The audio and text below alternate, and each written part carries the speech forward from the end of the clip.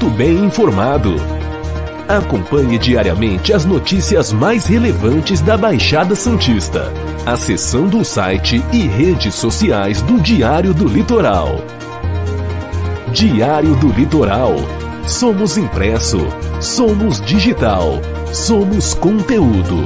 Visite nosso site e siga-nos em nossas redes sociais www.diariodolitoral.com.br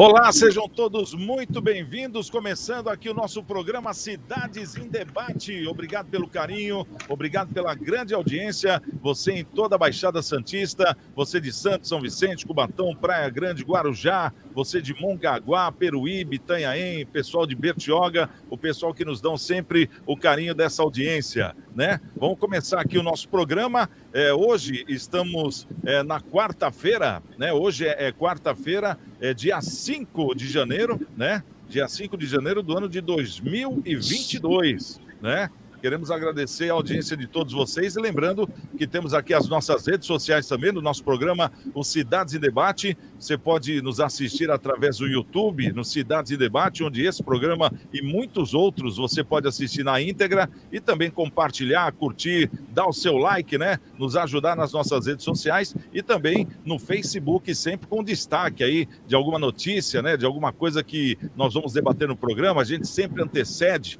aqui nas nossas redes sociais para que você já fique inspirado, né? E já comece a nos seguir também e já preparar aí os seus argumentos. E claro, né? A gente também conta aqui com o argumento e a opinião dos nossos convidados. Hoje, por exemplo, nós temos aqui o Marcelo Rocha, né? O nosso querido Marcelo Rocha, ele que é professor universitário, é contador, é da cidade de São Vicente e sempre trazendo aí também, debatendo conosco aqui no Cidades em Debate. Marcelinho, seja bem-vindo mais uma vez. Tudo bem com você?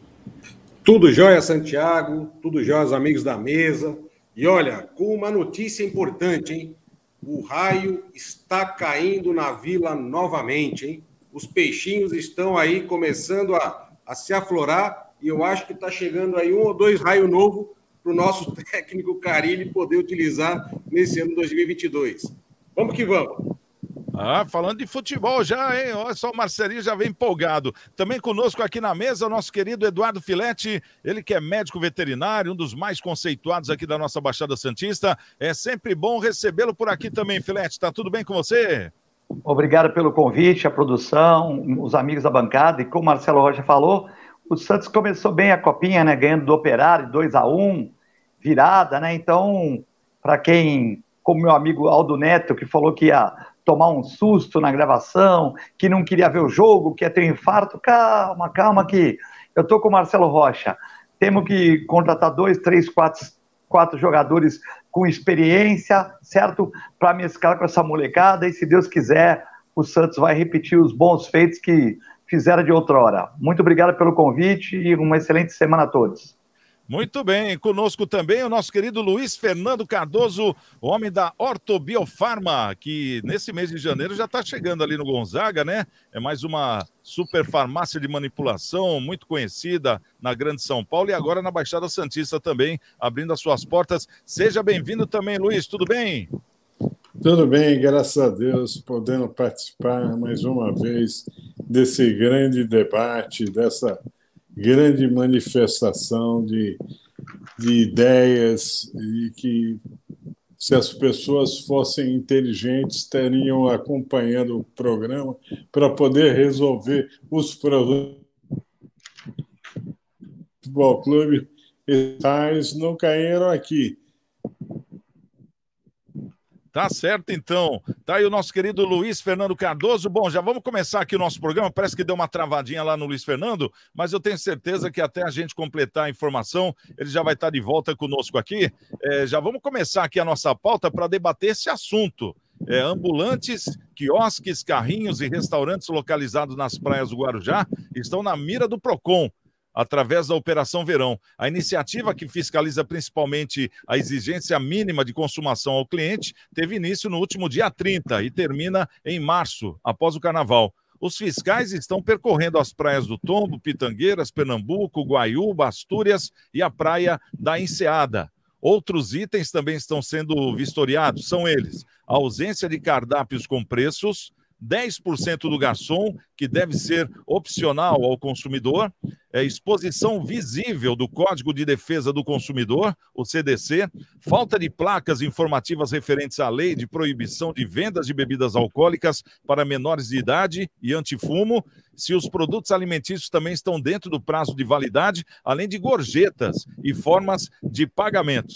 De acordo com o superintendente do PROCON do Guarujá, o Alexandre Cardoso, o objetivo é garantir o ordenamento nesses estabelecimentos, nesse período da temporada, quando a cidade recebe o maior fluxo de pessoas. Por isso, ao curtir o seu dia na praia, segundo diz o, o Alexandre, né, o consumidor precisa estar atento, por exemplo, com ambulantes não credenciados e possíveis golpes na hora de pagar.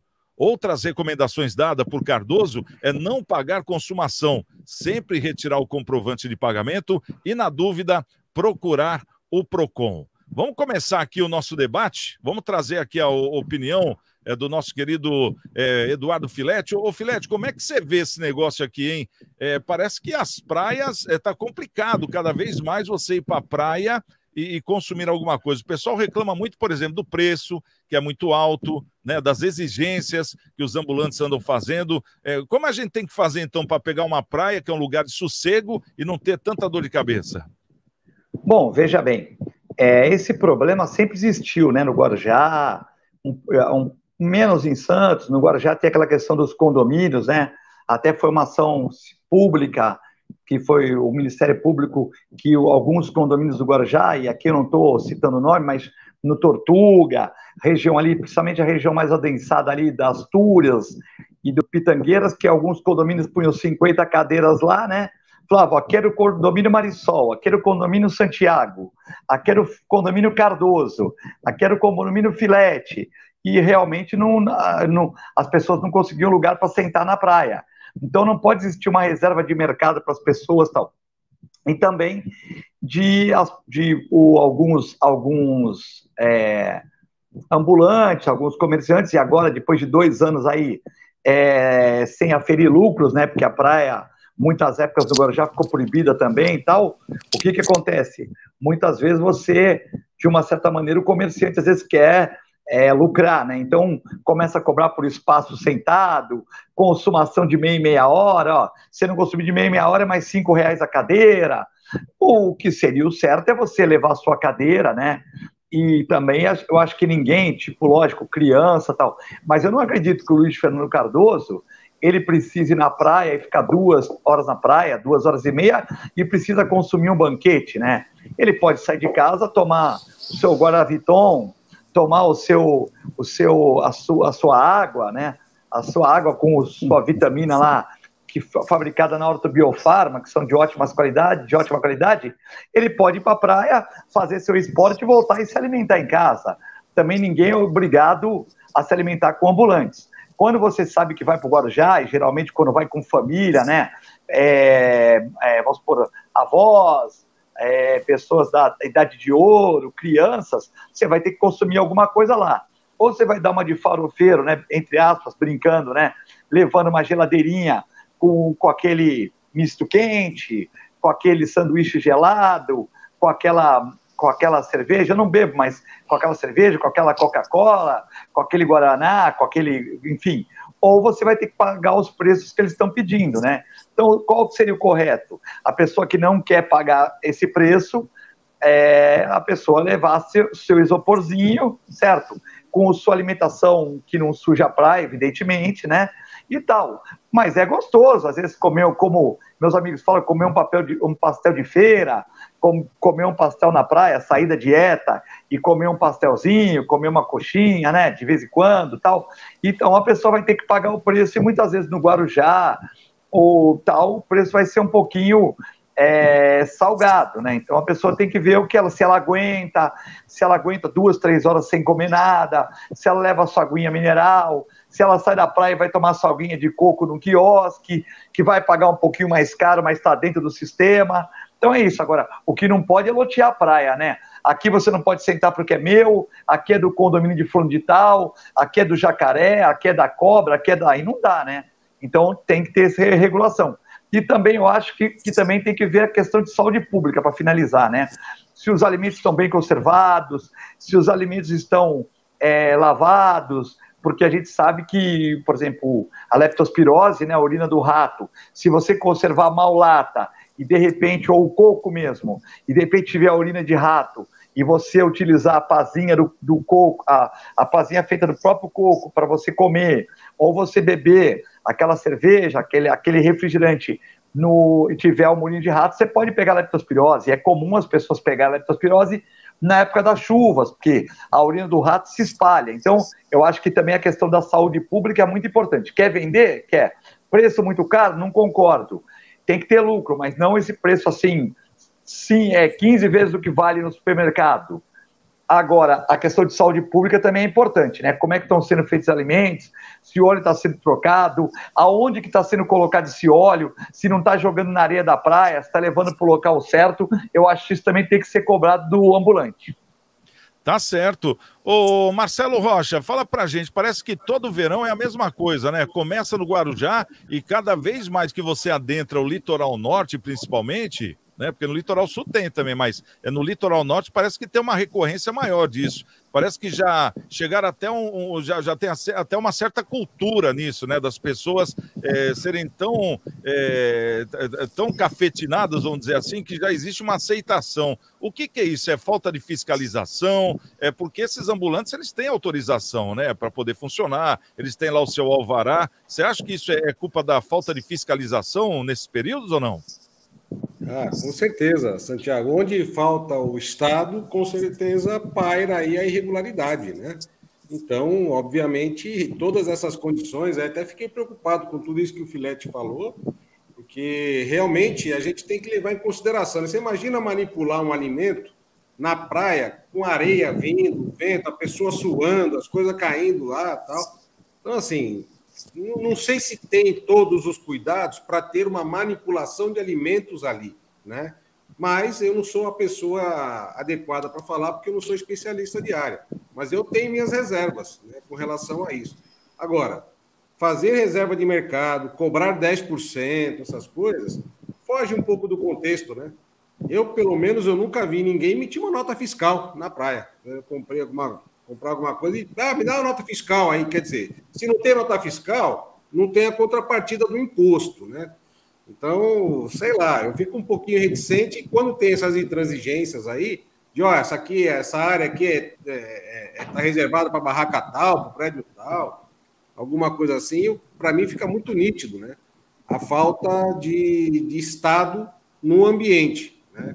Então, obviamente, as pessoas fazem o que acham que dá, é certo que entendem que na mente deles, deles é certo. Então, isso não, não, não, poderia acontecer, não deveria estar acontecendo. A praia é um ambiente livre, aberto de todos, não pode ter ali uma, uma remuneração sem que tenha aí uma autorização expressa dos órgãos regulamentadores, né? E, obviamente, há o cuidado aí com o meio ambiente também, né? O Filete também falou bem ali, né? para onde será que vai o óleo, para onde vai a sujeira, para onde vai as coisas todas ali, né? A gente vê um monte de, de, de gente consumindo e, de repente, né? Quer dizer, nós pagamos a conta para fazer a limpeza da praia, mas será que é, a limpeza também atende todos os anseios da comunidade do meio ambiente? Então, a praia ainda é um território que precisa ser melhor habitado, melhor regularizado ali, uma regulamentação melhor e uma fiscalização mais atuante, né? Atuante dentro da praia, para poder trazer tranquilidade para o comerciante de bem que está ali fazendo o seu trabalho honesto e para as pessoas também que estão indo lá para consumir e, obviamente, fazer aí, a, aproveitar o, o sol, a praia, o ambiente tudo mais. Né? Vamos aguardar, vamos esperar que isso aconteça, mas acho um pouquinho difícil. Ô Luiz Fernando, a gente está falando aqui, o Filete já deu a opinião dele, o Marcelinho também deu a opinião dele. A gente nota que o assunto que vem mais à tona é, nos dois primeiros comentários é a higiene, né? É, no caso, a gente vê que na praia, por exemplo, o ambulante ele trabalha é, sem uniforme, é, justamente por estar na praia, as condições são diferentes. né? Não tem aquela responsabilidade que, por exemplo, a gente comparando com o comércio normal, se tem. E, e, ao mesmo tempo, as punições também, né? Pelo que se diz, é, quer dizer, o PROCON espera as reclamações, tá certo. Mas ao mesmo tempo, nós estamos falando de um ambulante que um dia está, outro dia não está. É diferente de um comércio, então muda de lugar, né? Não sei como funciona. É, existem barraqueiros, existem, é que nem eu conheço mesmo, posso até dar o um nome, o Pastel da Lúcia, que fica ali no Canal 2. É, eu, eu, conheço a procedência, de onde vem, é tudo de primeira linha, é, eles fazem higienização diária do carrinho. Quer dizer, existem também aqueles que trabalham uniformizados, que têm essa preocupação de passar para os seus clientes a segurança é, da higiene. Mas, em contrapartida, e aqueles que não estão nem aí? O, o que, que você acha que deveria ser feito, Luiz, na sua opinião? Olha, eu vou te falar o que um dia eu vivi.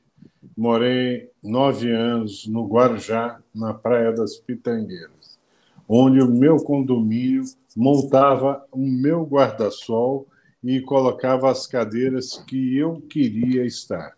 Onde eu era atendido pelas barracas de praia ao meu redor, conforme eu quisesse ser atendido. Essas barracas tinham suas cadeiras, tinham seus guarda-sóis, que eram atendidos conforme as necessidades das pessoas que chegavam às praias e não tinham esses equipamentos. E, por lógica, teriam que consumir nesses, nessas barracas. Até então, essas barracas elas não tinham autorização de fazer alimentos, só é, oferecer água, é, refrigerantes e bebidas alcoólicas. Tá? As barracas que tinham que produzir alimentos, elas tinham que ter todo tipo de consolidação de higienização. As barracas de pastéis, elas tinham que oferecer os pastéis, o saquinho para levar o pastel e a pessoa que pegasse o pastel pudesse conduzir qualquer resíduo no saquinho oferecido e colocar e dispensar no local devido. Agora, cabe à cabeça do ser humano fazer com que esse saquinho fosse colocado no local devido. Meu Deus do céu, quando eu olho as ruas e vejo o lixo que está colocado nas ruas, eu vejo que a cabeça humana não passa nada. Eu acho que o estômago deve estar passando pelo cérebro, porque só deve passar fezes pelo cérebro, ao ponto do ser humano descartar o que descarta aonde é indevido, nas praias, nas ruas, nos locais indevidos. O ser humano parece que quer passar por um problema que ele não tem noção do que ele quer passar. Basta a Bahia para ver o que aconteceu por inúmeras situações do planeta que devastou inúmeras casas, inúmeras situações e as pessoas ficarem sem nada.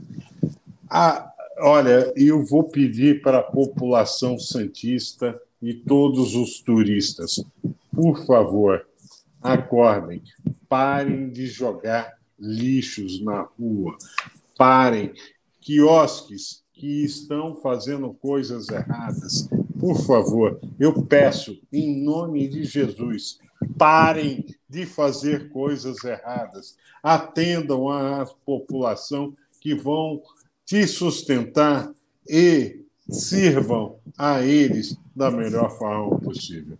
Desculpe a, minha é, forma de falar. Eu estou cansado de ver coisas erradas.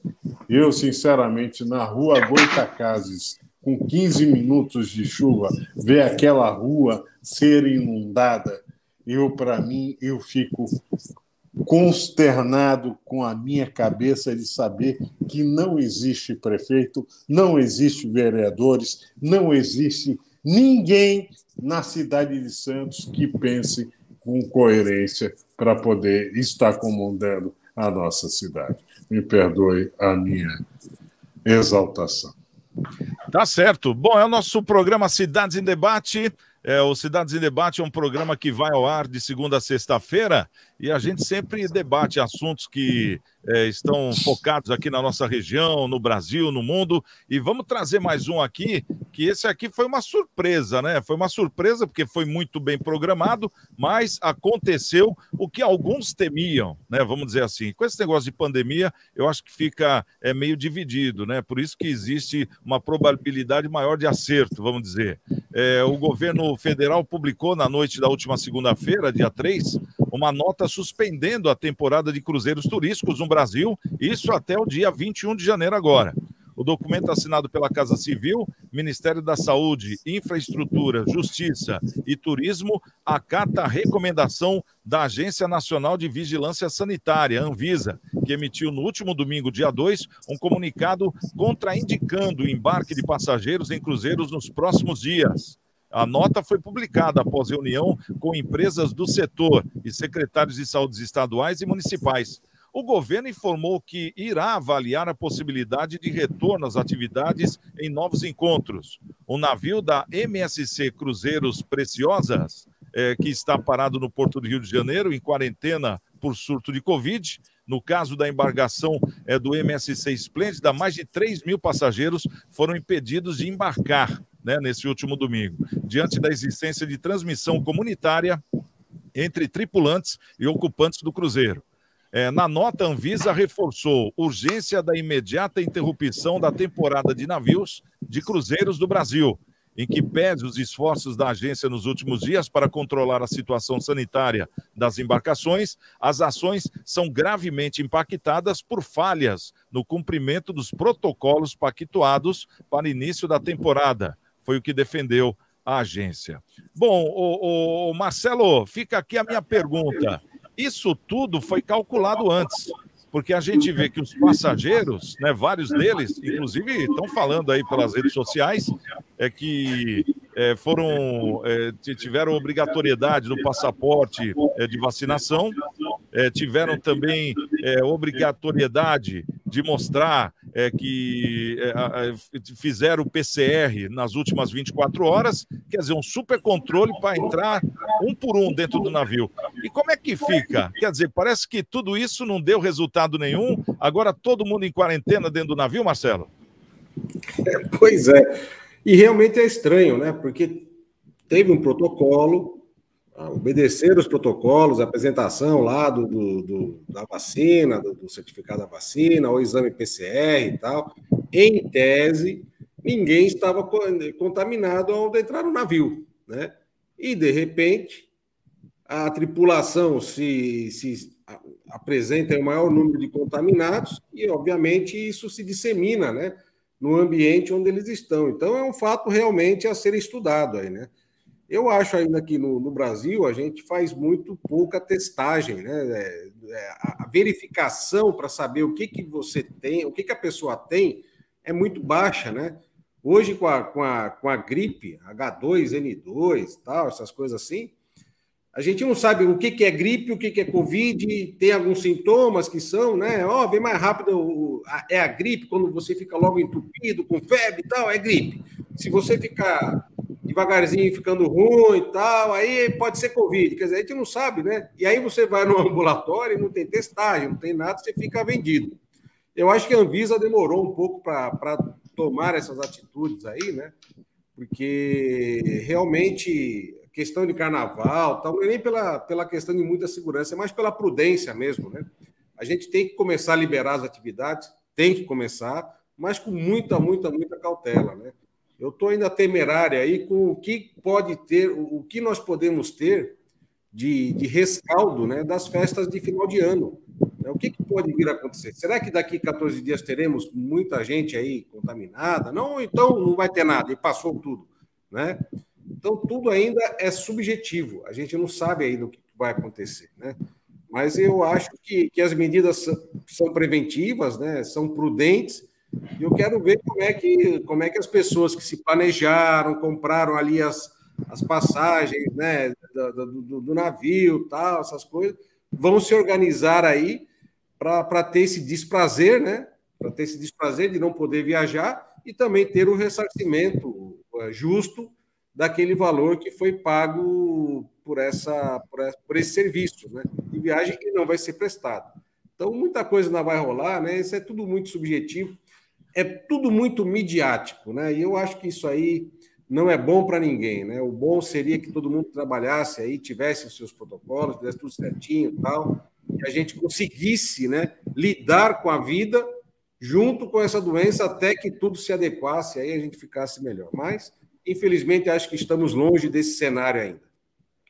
É, o ressarcimento vai ser feito, né? Isso aí já foi anunciado, inclusive as próprias operadoras já falaram que vão ressarcir, mas o problema, que nem eu vi na rede social, o rapaz lá no, no bar do navio, né? Tomando o último copo de chopp e ele falando: Rapaz, eu me preparei para vir para cá, que não dá para pôr o vídeo, porque ele fala um monte de, de palavrão também, então fica meio esquisito. Ele falou: Eu vim para cá para passar o ano novo, é, olha só o que está acontecendo: o pessoal fechando o bar, o capitão deu uma ordem, falou que a partir de agora todo mundo vai ter que ficar enclausurado em suas cabines. Aí eu fico pensando, ele falou, agora eu, como é que ele falou? Eu tô em, eu vou ser recolhido, né? Eu me sinto num presídio, enfim, porque não vai poder sair da cabine, senão ele vai preso na, na própria é, prisão que tem no navio, né? Então, se não fica na cabine, fica na prisão do navio, porque o capitão tem autoridade para mandar prender lá dentro. Agora fica a pergunta, né? A pessoa sai de casa, para ir para um lugar desse e não tem nem a oportunidade, por exemplo, de voltar para casa.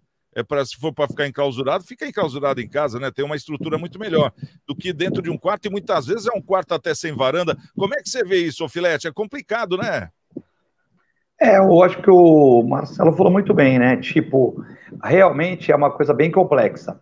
Eu vou dar dois exemplos aqui rapidinho, né? Mas para a gente fazer uma analogia, né? Nós temos nove cidades que compõem a Baixada Santista, né? Dessas, apenas a prefeita Raquel Kine, no uso das suas funções, resolveu fazer queima de fogos. Então, o que, que aconteceu? Todo mundo que alugou imóvel no Airbnb, todo mundo que aluga imóveis, logicamente que está na bagunça, que está na garotada, foi para Praia Grande, né? Então, mais de um milhão de pessoas. Lógico, tirou um pouquinho de turismo de Santos, tirou, tirou um pouquinho do Guarujá, que estava lotado também, por causa que já é uma cidade de veraneio tal, mas tirou um pouco de São Vicente, por exemplo. São Vicente no dia 24 e 25 está vazio, está vazio. Na queima de fogos que não teve, eu acho que a praia tinha, vai, vamos dizer assim, umas mil pessoas, umas duas mil pessoas no, no Itaraí inteiro, né? Num dia, numa, com queima de fogos, teria 50 mil, né, professor Marcelo? Então, é muito pouco. Então, essas pessoas para onde foram? Ah, elas ficaram em casa, não foram para a praia? Não, elas foram para onde tem queima de fogos. Aí eu te pergunto, vai ser feito algum estudo para as pessoas que estiveram na Praia Grande e forem retornar para São Paulo, para o interior, ou ficar na Praia Grande? E aí eu faço a segunda pergunta, e não que é uma pergunta não questionando, eu acho até que a Praia Grande, de questões administrativas, tirando a área de saúde, ela vai bem, né? Mas eu vou fazer a segunda pergunta. A prefeita falou na rádio, então, olha, é porque a pessoa já aglomera na padaria, tal, sim, mas aí você não pode evitar, mas você, o poder público, permitiu uma aglomeração? Então, a, a segunda pergunta, essas pessoas vão ser monitoradas e a Praia Grande tem, tem, tem condição de atender essas pessoas no Irmanduce ou elas vão ser distribuídas pela Baixada? E a terceira pergunta que eu faço é se os oito prefeitos das cidades metropolitanas estão errados e só Praia Grande está certo. Ou se Praia Grande falou, poxa, vamos aproveitar aqui para a gente fazer o turismo e, de uma certa maneira, os ambulantes que estão aí sofrendo, os donos de padaria que também não, não ganharam tanto como tem que ganhar no, no, nos verões passados, tal, e o comércio seja atuante. Mas será que foi justo com a região? Será que foi bom? Então é a primeira pergunta. Agora eu vou falar a segunda pergunta, a segunda questionamento dos seus navios, né? Os navios, é lógico, tem muita gente que vive disso, os músicos, né, que foi a parte mais afetada, a área artística, né? Os músicos, porque o professor universitário como eu, como como o como, continuamos dando aula, né? Online, mais chato, mais legal, mas continuamos. A clínica veterinária funcionou, lógico, muita gente não vinha, é, muitas vacinas ficaram, você mandava carta, a pessoa não dava nem aí, porque a pessoa falava, ah, eu não saio na rua mesmo, esquecia que pode trazer com o sapato, mas o risco já menor é o menor um pouco, enfim. Mas aí a, a, a, pergunta: os navios têm que funcionar, né? Tem, o, tem a tripulação, é, tem o pessoal que faz a parte de maquinário também, é, tem os, os, os, excelentes mestres, os cozinheiros, tem os artistas que são maravilhosos, né? Tantos artistas, então, e esse o pessoal precisa trabalhar também, né? Aí você pôs, mas será que 75% não é um pouquinho de abuso? Não poderia ser 50%?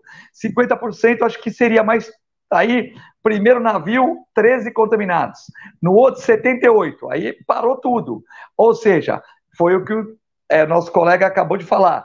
Vai ter que indenizar, as empresas vão ter prejuízo, o navio está pagando a estadia aí no porto, a pessoa chega lá, pô, uma coisa é você ficar, é, uma coisa é você ficar no navio andando, tá parado, com piscina, com, com, com jacuzzi, uma coisa é ficar no teu quarto lá, é, é parado, o cara batendo na tua porta, jogando alimentação lá, como é feito, vamos supor, em, quando o cara da Petrobras, aí na pandemia, os caras trabalham em plataforma, eles ficavam uma semana no hotel, não podiam sair do hotel. O cara ficava no Rio de Janeiro, vendo lá Ipanema, Barra da Tijuca, o cara não podia sair. Se o cara saísse, era uma multa, se não perdia o emprego de concessionárias da Petrobras. Então o cara ficava uma semana no hotel, agora é um dia só. O cara fica uma semana. Então, são coisas que são complicadas. Aí você vai ficar num, num cabine de um quarto lá dois, três dias. O cara que tem claustrofobia, o cara que tá veio para umas férias e está estressado. Mas também trazer esse pessoal para cá, no navio, é, antes de um resguardo, de uma tal,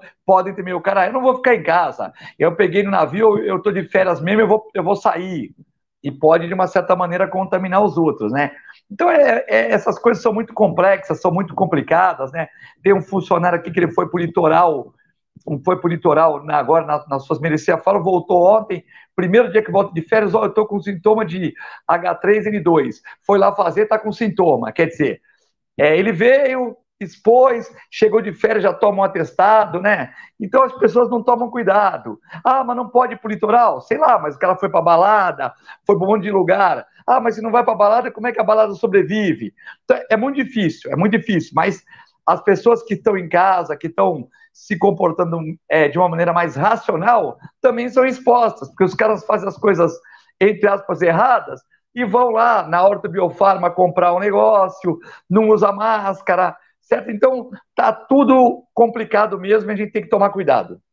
É, isso tudo é muito novo, né? A verdade é essa, porque é, é complicado, por exemplo, eu, eu, até vejo os dois lados, da gente é, jogar isso na conta de um prefeito, vamos supor, da Raquel Kine. É, ela, ela arriscou dentro do protocolo, né? Aquela questão é que, vai, o, o governo estadual liberou, é, olha, os, os prefeitos é que vão ver o que vão fazer. E ela falou: não, vou apostar, porque o comerciante também está é, com a água para cima do olho, né? Está complicado. Ao mesmo tempo, existe outro pessoal que, que não quer sair de casa. Aquele pessoal que quer ficar em casa, não, é melhor não, é o pessoal que tem mais medo. Em contrapartida, em Santos, a praia estava cheia, não teve queima de fogos. Então, quer dizer, o que, que adiantou, no meu ver? E, é, mas estava menos cheia, né, Luiz? Não, mas o, tava, no, no tava, caso, o prefeito menos, Rogério. Estava menos, estava menos. Estava menos é cheia que normal. Mais, não é menos ou mais. É, o, no caso, o, o, prefeito, ele teve. É, vai, ele achou que melhor não, porque eu conversando com ele, ele falou: Santiago, é melhor não, porque é, como Santos é a primeira cidade, é, se explodir casos, é aqui que todo mundo vem, então eu prefiro não fazer a queima de fogos, porque eu prefiro ficar é, preparado para receber qualquer emergência, porque emergência é isso. E no caso da Raquel, a emergência era o turismo, né? Então, quer dizer, cada um é, é, um, é um, jeito. Agora, eu, eu tenho casos de pessoas que ficaram no lockdown, não saía nem para comprar pão, e as três pessoas da casa pegaram Covid, sem sair de casa. E tem um caso de pessoas que entravam no ônibus, iam trabalhar, e, e as oito pessoas da casa não pegaram Covid. Quer dizer, como é que é feito isso? Né? É uma coisa muito complicada, é muito novo é para a gente poder é, pôr na conta de alguém. Eu até entendo o que o Filete falou, concordo com tudo isso que você falou, Filete, mas é, mas... é um, negócio, é, é, um negócio muito novo, né, Luiz? Como é, é que mas, você vê essa. Mas essa só, só deixa eu dar um adendo aqui, rapidinho. Aí, mas você viu, no navio não tinha ninguém contaminado, todo mundo fez teste. E no primeiro saiu 13, e no outro saiu 78. Nada. Não, vamos lá. No primeiro saiu 13, no outro saiu 78. Então a gente está vendo que a aglomeração. Pô, São Vicente também tinha gente na praia Tinha, mas tinha assim, vai, duas mil pessoas. Se tivesse fogos, tinha 50 mil. Aí o prefeito falou: não vou fazer. Se você quiser ir para a praia, vai. Só que o tempo de permanência na praia é menor. É tipo, o cara fica lá meia horinha, faz sua oração, pula lá as ondinhas e vai para casa. Não tem nada, ele vai ficar fazendo o quê? Namorando o Siri lá? Não vai.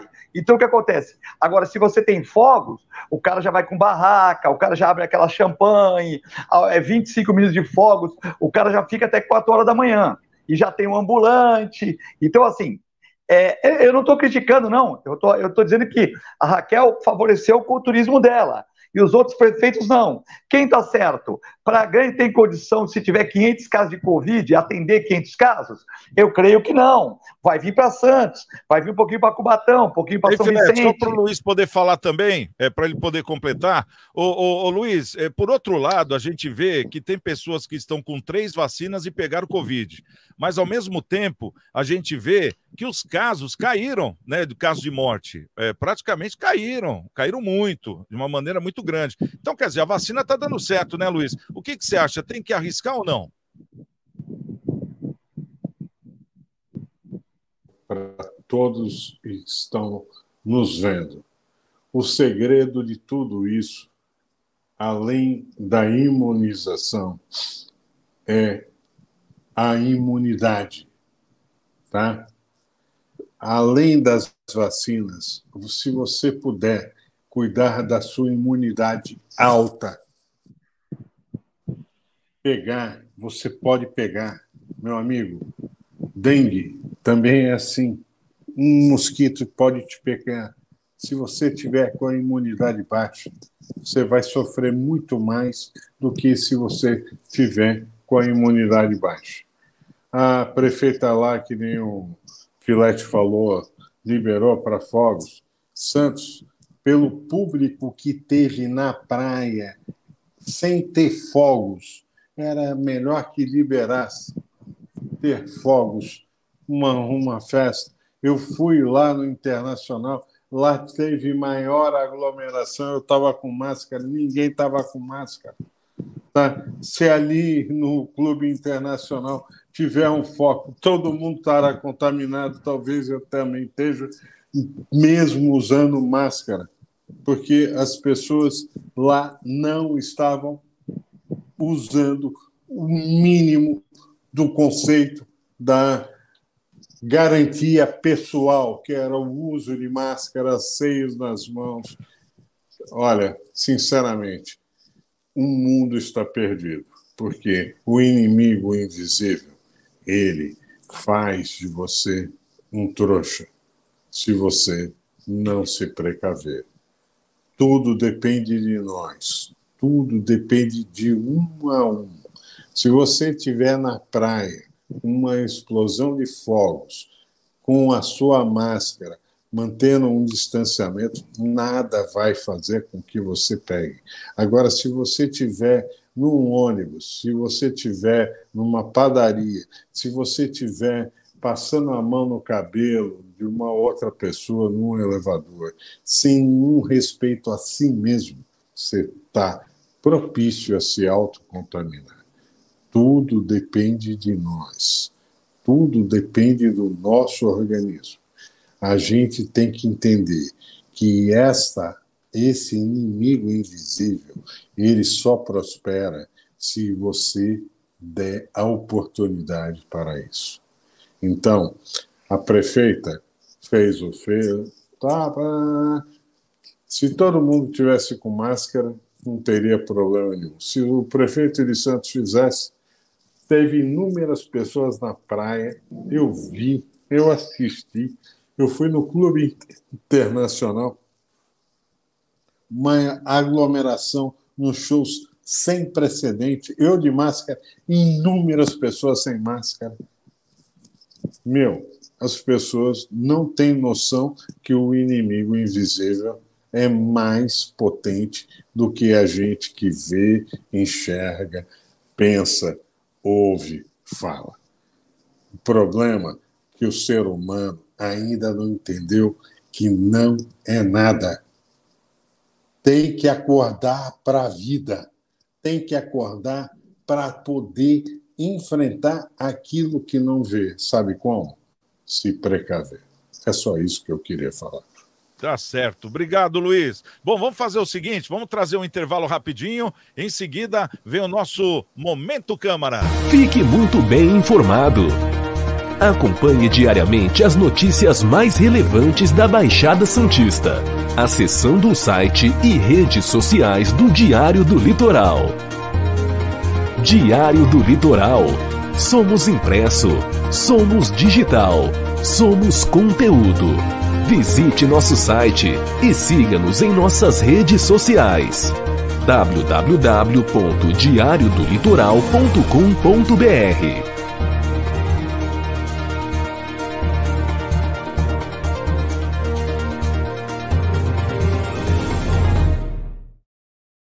É o nosso programa Cidades em Debate e agora vamos trazer aqui o Maurício Araújo, ele que traz o Momento Câmara.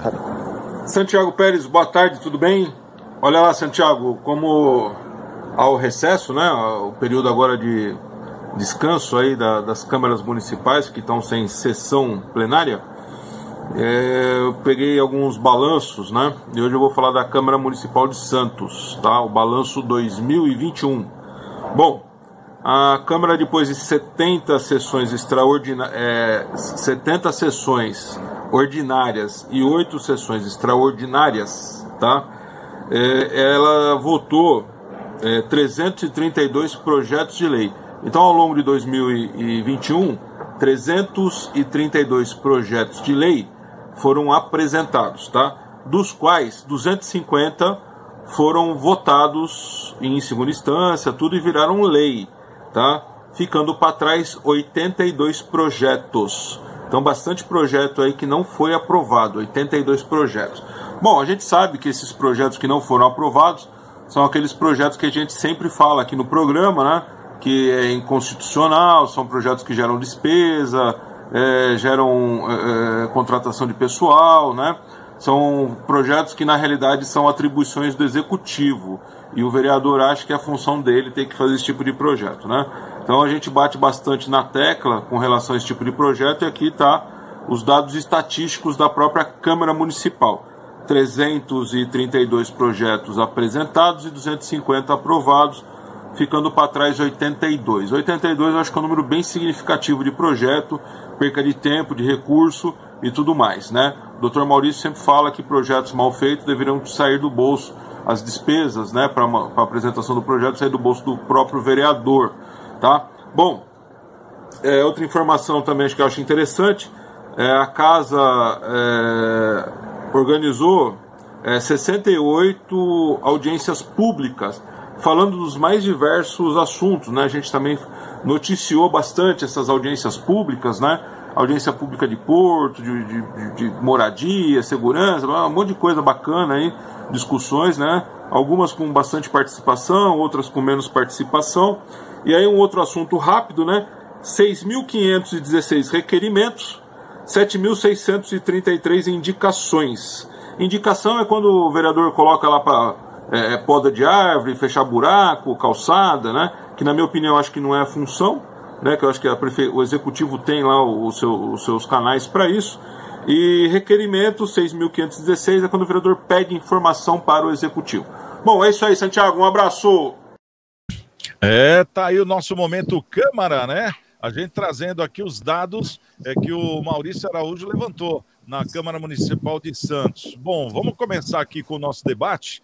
É, vamos trazer aqui o, o Marcelinho. Marcelo, é, Santos, você que é contador, é bom de conta, né? O balanço 2021, depois de 70 sessões ordinárias, 332 PLs, ou seja, projetos de lei, foram apresentados. E desses, 250 viraram lei, ou seja, 82 ficou pelo caminho. Como é que você vê essa, essa conta? Olha, eu vejo que tem, tem muito assessor lá que não deve estar funcionando, né? Porque para ter o tanto de projeto que vai e projeto não ser aprovado, eu acho que deveria ter uma assessoria legislativa forte, adequada, né? Para que projetos que fossem de eficiência e eficácia fossem para a pauta, né?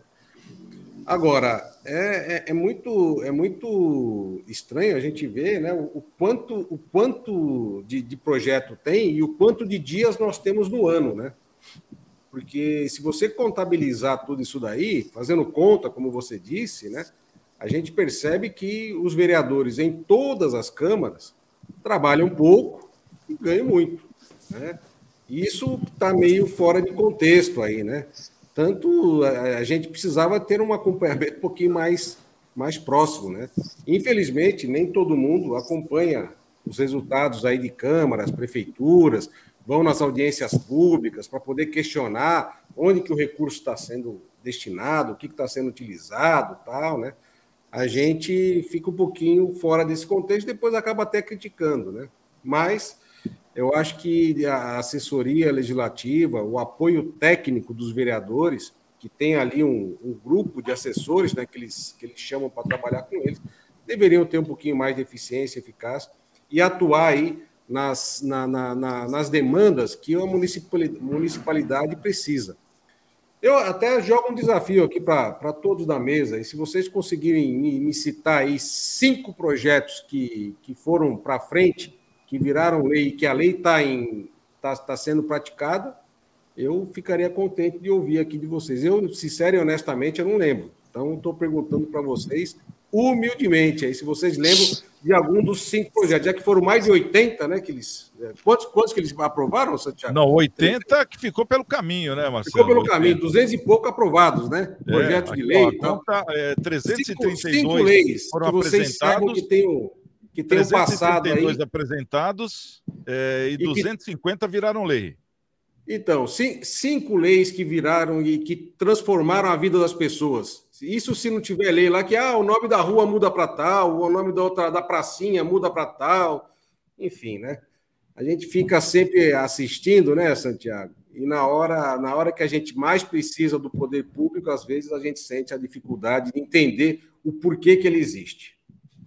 Bom, e segundo o Maurício Araújo comentou, Filete, ele falou que o doutor Maurício sempre fala aqui no programa, e o doutor Maurício está de férias, ele deve retornar no programa amanhã, é, que todo projeto de lei que não é aprovado deveria sair do bolso do vereador. Você acha que isso é, já seria uma boa grana para o município, né? Porque 82 não foram aprovados, né? É, eu não sei se, por exemplo, é, você tem um projeto que não é aprovado, às vezes a ideia é boa para você e não é boa para os outros, né? Nós temos um colegiado lá. Não sei se, vou supor, acho que teria umas, vai, o quarto projeto teu não aprovado, mas eu não, não acho que eu não concordo muito, porque é um legislativo, é um parlamento, as pessoas falam, as pessoas conversam e tem que debater ideias, né? Por exemplo, nós tivemos uma lei em Santos que não poderia vender peixinho de aquário, né? E essa lei foi aprovada pelo Legislativo, pelo Executivo, pela, passou pela Procuradoria da cidade, que falou que não ia aprovar e aprovou, e depois 23 desembargadores falou que não, pô, os peixes são criados em lago, pode vender peixe, pode vender cachorro, pode vender gato, tem que fazer fiscalização, tem que acabar os, os clandestinos, tal, porque as pessoas foram vender em Praia Grande, São Vicente e Guarujá, ou vendiam pela internet, que é o um mundo paralelo. Então foi uma lei inconstitucional que o legislativo sabia que era inconstitucional, aprovou, porque a época de eleição aprova tudo. O executivo sabia que era inconstitucional, mas teve pressão. E o, a procuradoria também, vamos que vamos, né? Só que 23 desembargadores não foi um. Foram 23, só essa lei não existe. Voltou a lei. Eu não acho que o vereador tenha que ser punido, mas talvez o, é, o, o, seu, o, seu staff, né? Bom, nós temos advogados lá no, na Câmara que não viram que um nobre, um desculpa, um simples veterinário, professor universitário, escreveu em vários jornais que era inconstitucional. Escrevi que era inconstitucional, que não vinga, que não vinga, que não vinga. E não vingou, lá em cima voltou. Então, assim, mas e os empregos que se perderam em lojas de aquários? Tal, agora, tem algumas coisas que eu já concordo, né? Eu vou ser. É, eu não concordo com com o doutor que teria que pagar. E eu concordo que o vereador, às vezes, infelizmente, né? É, ser contra o meu amigo contador nessa questão. O vereador tem que falar de poda de árvore, ele tem que falar de buraco em rua, porque o que, que é o, o, o, o legislativo? Ele é um 90% é um fiscalizador do executivo. 90 por, 95% ele fiscaliza e 5% ele promove leis. Por quê? Porque a lei vai esbarrar no estadual, vai esbarrar no federal, vai Então, é 5% alguma lei nova e 90% a fiscalização. Não é um puxadinho do executivo, é fiscalizar. Olha, na rua do Santiago tem um buraco lá que está dois meses lá. O buraco vai dar cria, vamos arrumar. Olha, na dona não sei o quê, na casa da dona Melinha lá, tem uma árvore que está intacta na fiação elétrica. Vocês estão prometendo há dois meses tirar e não mexe. Vamos fazer a poda dessa árvore. Tal, quem é especialista na prefeitura em poda? Então, o, o, o legislativo tem que cobrar do executivo. Então, eu acho que eu sou a favor desses requerimentos que o vereador cobra o executivo, porque se eu fosse vereador, nunca me candidatei, mas se eu fosse, eu ia ser chato, eu ia ser chato com buraco, com bicicleta na contramão, com cachorro na areia da praia onde não pode, eu ia exigir fiscalização, eu ia ser chato, porque eu ia ser a voz do povo, né? E a voz do povo não quer bicicleta em contramão onde tem ciclovia, não quer cachorro na praia em local que não é permitido, não quer, por exemplo, é ambulante ilegal, então, assim, eu acho que o vereador tem que fazer os requerimentos mesmo.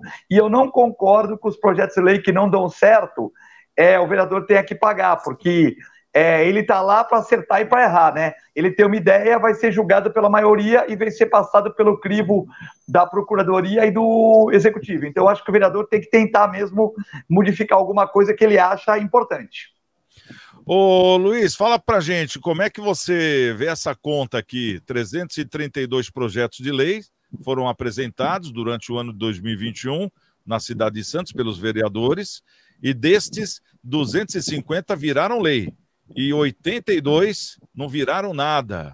Como é que você faz essa conta? Você acha que ficou uma boa, boa conta, uma boa média, ou deixaram a desejar? Olha, olha, eu acho que dois terços foi aprovado e a Câmara foi reprovada. Só isso. Dois terços foi aprovado das leis. É só ver a cidade, onde que você vê a rua Goitacás enchendo, você vê inúmeras deficiências na cidade. Você vê os vereadores, que nem o Filete disse, eles estão aí para fiscalizar as atitudes do prefeito.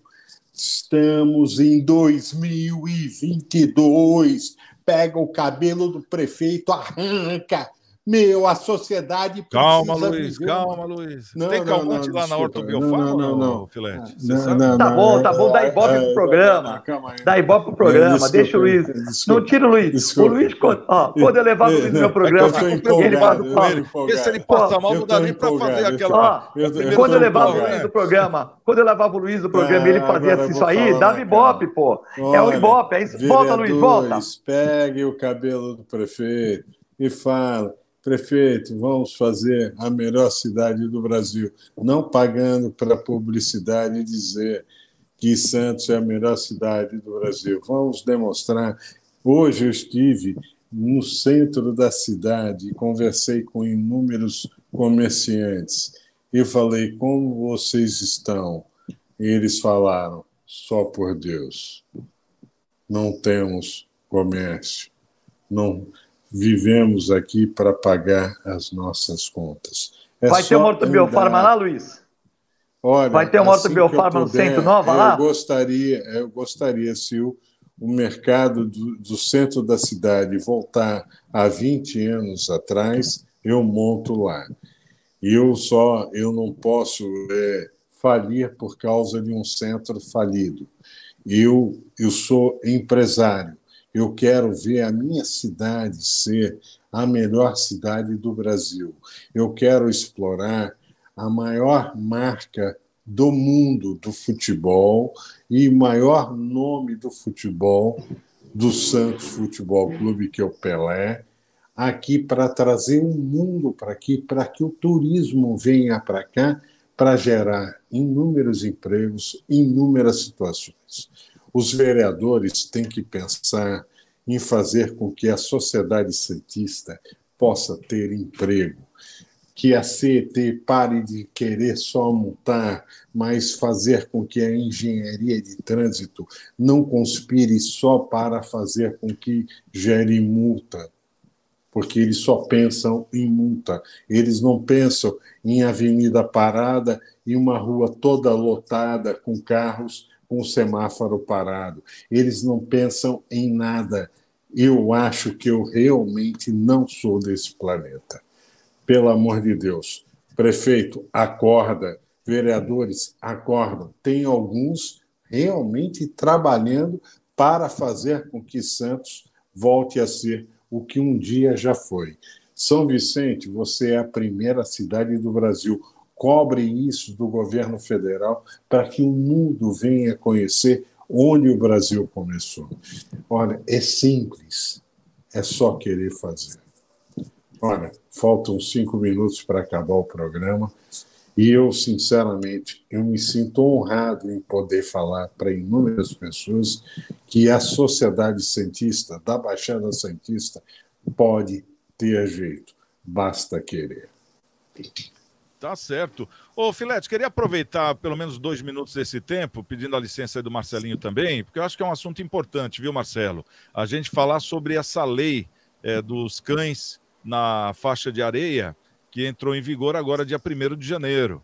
E o Filete é um dos coordenadores lá dessa comissão, que foi criada uma comissão, e o Filete, por ser um renomado é, médico veterinário, conhecido na nossa cidade, ele deu o palpite dele, deu a opinião dele, e a gente quer saber como é que é agora, Filete, já foi é, regulamentada a área, é, vão ser feitos exames na, na areia, daqui quanto tempo, e qual que é a avaliação? O, o, o, o que, que vai acontecer daqui para frente? Quer dizer que foi um prazer fazer o programa com o Marcelo Rocha, com o Luiz Fernando e com você. Eu sempre fui contra Animais na Areia por N motivos. É, o vereador Adilson Júnior, no uso das suas funções, aprovou o projeto com 17 votos a favoráveis, ou seja, três abstinências, e o Ademir Pestana, que foi contra. Então, três que, que não quiseram é, se pronunciar e o Ademir Pestana, que foi contra, né? Acho que a bancada da bala ficou em cima do muro e a, a, o, o Ademir tal. Então, 17 vereadores aprovaram, é, o prefeito sancionou, mas falou que a praia toda não. Falou que só um espaço de praia, né? E é, quando o prefeito decidiu o espaço de praia, ele chamou algumas pessoas, né? O meu amigo Stanislau, Stanislau, o meu amigo Caseiro, Marcos Caseiro, o meu irmão Celso Filete, qual eu trabalho há 30 anos juntos, né? Mais de 30 anos juntos é, algum, o pessoal da Secretaria de Meio Ambiente, Guarda Municipal, tudo, e fez um, uma coordenação desse projeto. Eu dei as minhas ideias, que tinha que ter um horário definido, que tinha que ter a Guarda Municipal vigilando, que tinha que entrar com carteirinha de vacina, tal, tal, tal. Porque eu só acredito que o projeto pode ir para frente, que pode prosperar, que pode prosperar, se tiver comportamento. E eu acho que é uma reivindicação da sociedade. Eu não vejo porquê, eu sinceramente tenho cães, eu acho que o Jardim da Praia é maravilhoso e eu, eu fico contente de poder andar com o meu cachorro no jardim. Mas as pessoas querem andar na praia, é um direito de algumas pessoas que acham que sim. Algumas praias do mundo, sim. O prefeito falou que a praia toda nunca, na gestão dele nunca. Então ele deu um, a, um espaço e é um projeto piloto. Piloto depende de comportamento, que o nosso professor fala, comentou, que o Luiz Fernando comentou, comportamento começou a ir fora de horário a cachorro. As multas vão aumentar de 125 reais, não fui eu que pedi não, tá? As multas de 125 reais para 800 reais quem colocar na areia fora do local e fora do horário, né? Então você colocar o cachorro no canal 3, canal 6, pode tomar uma multa de 800 reais. Para quem não limpar as fezes, de 125 reais, na calçada para 800 reais, na calçada ou na areia só pode colocar o cachorro na areia com coleira. Então, que, resumindo, tem regras de comportamento. Se as pessoas se comportarem, meu amigo Santiago, vai funcionar bem. É um projeto piloto. Quem não queria animal na praia desceu três degraus. Quem queria também desceu, porque não é na praia toda e no horário todo. Não, vai ter cachorro na praia. Não, não, calma. Menos carnaval. Respira, é um projeto piloto piloto se contaminar a areia da praia que é testada, acabou tudo. Então, eu torço para dar certo, que é uma vontade de uma parte da população, acho que é uma menor parte, na minha opinião, mas é uma vontade. Vamos torcer para que dê certo, depende do comportamento. Se não tiver comportamento, nada vai ser resolvido. Então, é um projeto piloto, parabéns à prefeitura, parabéns a todos, vamos torcer para que dê certo, que as pessoas colaborem.